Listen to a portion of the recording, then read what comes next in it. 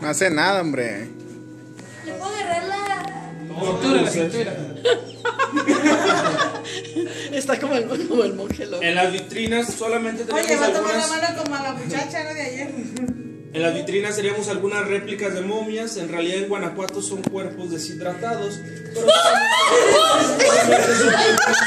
representaciones. No pasa nada. Estamos pasando.